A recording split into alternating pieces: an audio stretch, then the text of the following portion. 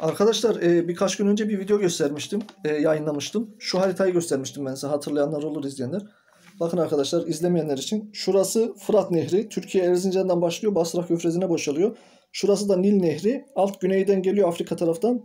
E, Kahire'den, Mısır Kahire'den, İskenderiye'den Akdeniz'e boşalıyor. Bu Fırat ve Nil Nehri'nin arasındaki bu Davut Yıldızı bunların Arz-ı Mevut dediği kutsal toprakları arkadaşlar. Bakın Türkiye'de içinde. Çok dikkat edin bak tekrar söylüyorum. Türkiye içinde bu büyük depremin tam olduğu yer. Bakın arkadaşlar.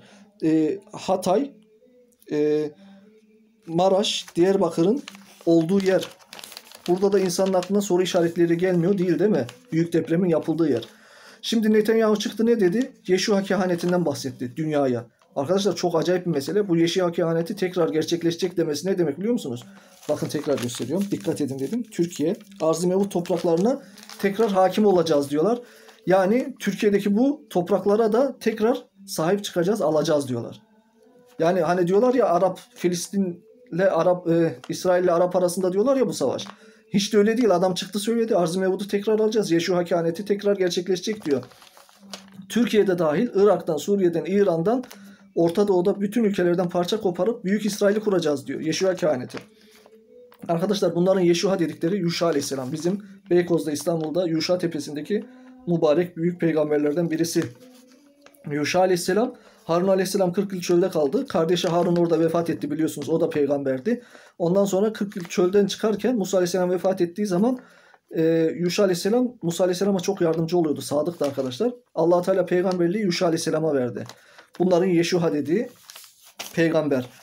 Yuşa Aleyhisselam da e, gerçekten de oradan çıkınca savaşarak arkadaşlar şu Fırat ve Nil nehrini burayı Arzimevut dedikleri toprakları buraları hepsini aldı. Yahudilere 12 kabileye bölüştürdü orada. İşte Yeşuha kehaneti dediği bu arkadaşlar. Orta Doğu'yu tekrar alacağız. Aynı kehanet gerçekleşecek. Türkiye'de dahil Diyarbakır, Maraş, Hatay, Erzincan'a kadar alacaklarmış bizden. Bu Yeşuha kehanetinin anlamı Türkçesi bu yani. Anladınız mı meseleyi? Ben iki gün önce ne demiştim üç gün önce bu videoyu yaptığımda daha bu böyle konuşmuyordu. Sanki bana cevap verir gibi bir çıktı konuşma yaptı değil mi? Demek ki bizim bu anlattıklarımızı ona normal bir Müslüman zaten böyle anlatması lazım. Bu şekilde ulaştıran Müslümanlar var arkadaşlar. O da çıktı e, onlara cevap veriyor. Veya da bizim gibi insanlara böyle dedim ya bu sağda solda ortalıkta dolaşan böyle bir sürü bunların e, cinlerden, şeytanlardan, iblislerden ajanları var. Burada bizi dinleyip daha biz video yapmadan onlara ulaştırıyorlar. Onlar da çıkıp e, gereken cevabı veriyorlar. Hani Necmettin Erbakan Hoca diyordu ya çok konuşuyordu bunu çok söylüyordu bu sözünü. E, beni Hans anlıyor Hasan anlamıyor diyordu. Yani Hasan derken Müslümanlardan bahsediyor. Hans derken de kimden bahsettiğini anlıyorsunuz arkadaşlar. Yani düşmanlar anlıyor bizi konuştuklarımızı. Müslümanlar anlamıyor. Şu an işte bu sanal ortamlarda Müslümanlar hoplayıp zıplayanları izlemekle meşgul. Ama yakında hoplayıp zıplayacak enerjileri kalmayacak. Allah muhafaza etsin yine. Allah korusun ama bu kafayla gidersek anlamazsak mevzuları e, çok nimet elimizden alınır arkadaşlar.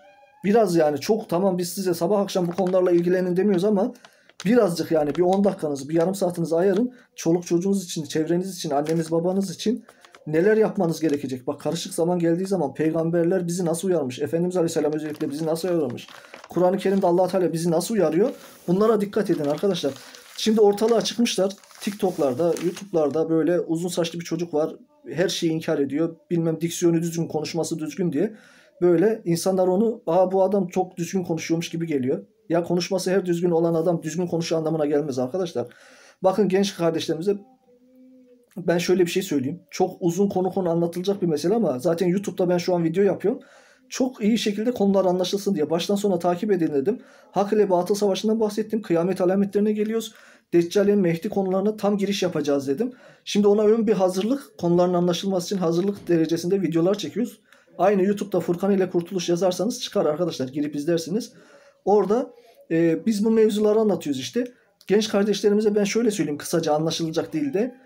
Anadolu'daki Mevlana Hazretleri'nin, Hacı Bektaşi Hazretleri'nin, Yunus Emre Hazretleri'nin ehli sünnet itikadının e, bize getirdiklerinden ayrılmayın. Yani onların yolunu terk etmeyin. O yol hak yoldur arkadaşlar. Efendimiz Aleyhisselam'ın yoludur, sahabenin yoludur. Allah'ın Kur'an'ın yoludur. Hadis inkarcılarından bu reşatçılar çıktı. Acayip. Bu hadisleri inkar eden. Kur'an'ı bile inkar ediyor adam. Niye? 19 mucizesine uymayan ayet varmış. Bir tane Tövbe suresi.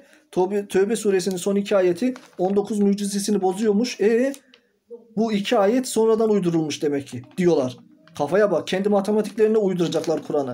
Kendi matematiğimize uymadığı için bu ayetleri çıkarırız, inkar ederiz diyorlar. Bu mucizeye Kur'an'ın bizim matematiğimize uyması lazım. Neden? Çünkü dire, diğer bütün ayetler uyuyor da 6666 ayet uyuyor.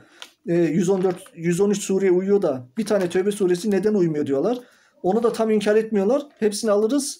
Do, e, 19 mucizesine uyanı son iki ayetini Tövbe suresinin son iki ayeti 19 mucizesini bozduğu için onu inkar ederiz. O bir şahitle yazılmış Kur'an-ı Kerim yazırken haşa.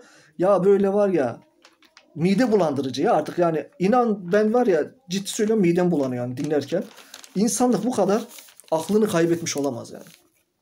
Tutmuş Reşet Halife diye biri çıkmış son 50 yılda kocaman bütün 1400 yıllık İslam alemini hatta bütün peygamberler dönemi bütün insanlığı yok ediyor. Bir kendileri Müslüman oluyor. Son 50 yılda onlara inanan Müslüman oluyor. Onlara inanmayanlar kafir oluyor. Yani Allah bütün dinini Reşet Halife'den sonra gelecek sözde ona inanacak insanlar için kurmuş öyle mi? Allah akıl fikir versin. Yani bunu bu tuzaklara düşmeyin arkadaşlar. Bakın ehli sünnet dinimiz tamamlanmış. Mahmud Efendi Hazretlerimiz buyururdu ki hazır sofra var en güzel yemekler yapılmış kurulmuş. Masa donatılmış bütün yiyecekler var. Sen gidiyorsun malzeme arıyorsun ben başka yemek yapacağım diye. Ya bu neyin kafası? Sadece bize diyor kaşık sallamak düştü. Yemek yemek düştü. Bizim büyüklerimiz çalışmış arkadaşlar. 1400 yıldır bize güzel masayı kurmuşlar. Dört mezhep masası var. Dört masa, masa var. Hangisine oturursan otur doyarsın yani. Doğru yoldan ayrılmayın. Ben şimdi Yeşuha kehanetini söyledim size. Yeşuha kehaneti arkadaşlar kısacası Orta Doğu'yu Fırat'la Nil, ne Nil Nehri arasını almak.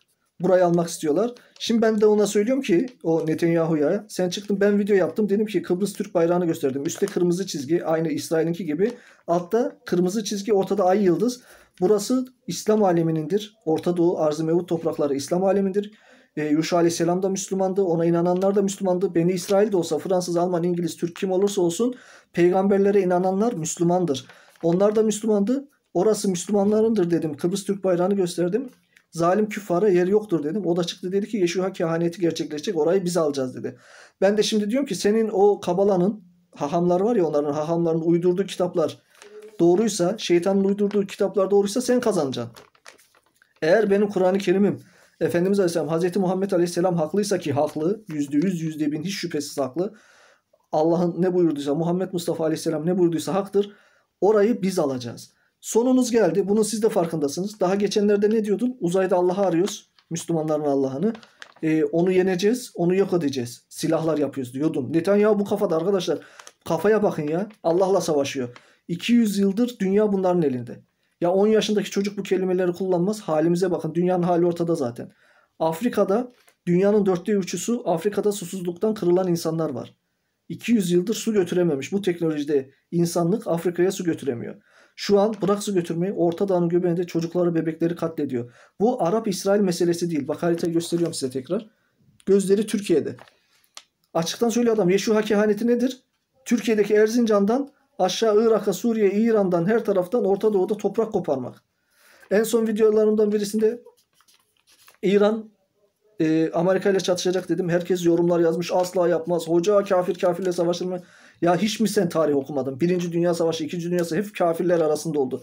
Kafirler asırlarca savaşmış. Niye savaşmasın? Menfaatine geldi mi herkes herkesle savaşır arkadaşlar. Allah dilediğini dilediğiyle savaştırır. Öyle yorumlar geldi. İran vurmaz asla. Cübbeli Hoca böyle dedi dedim. İran vurmayacak asla diye. Herkes diyor ki Cübbeli'ye katıyorsun falan. Ben de dedim ki videolarımın hepsini silerim dedim. İran'la Amerika çatışmazsa dedim. Bakın vuruyorlar.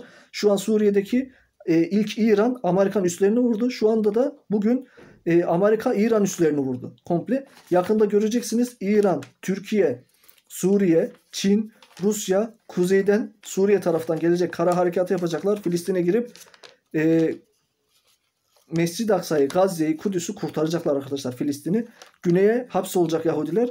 Hadis-i şerifler bu yönde. Kesinlikle böyle olacak. Ben de buradan Netanyahu'ya diyorum ki Hodri Meydan e, şu anda şu yıldızlı olan Davut Yıldız'ın olduğu bölge Müslümanlarındır. Allah'ın vaadi haktır. Müslümanların olacak. Bu kadar arkadaşlar. Allah'a emanet olun.